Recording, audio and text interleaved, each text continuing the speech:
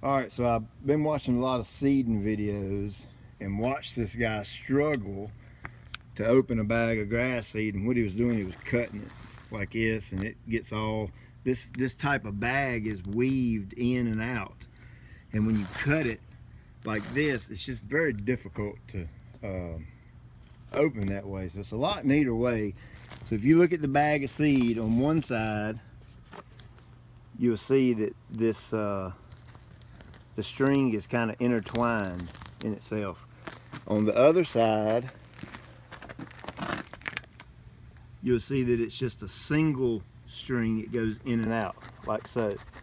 So the trick to this is stand on the, put the bag of grass seed in front of you, put the single strand on your right and the looped strand on your left What you want to do is grab this chunk of string right here and just easily cut this piece of string. I know I need a sharper knife like that. All right, so you got this little tip sticking out now.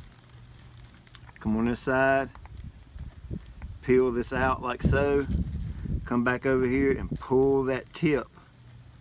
And look at that. Look how it just enter, how it just comes up. Put it down real close to that right there. See how that just untwines like that? Pull. And there you go. You have a nice, neat, clean bag. And you can actually use these for, you can put deer corn in it or put your kids in it. You can do whatever you want to do with it. Just makes your, your bag nice and neat and you don't have to fight all those little white strands everywhere.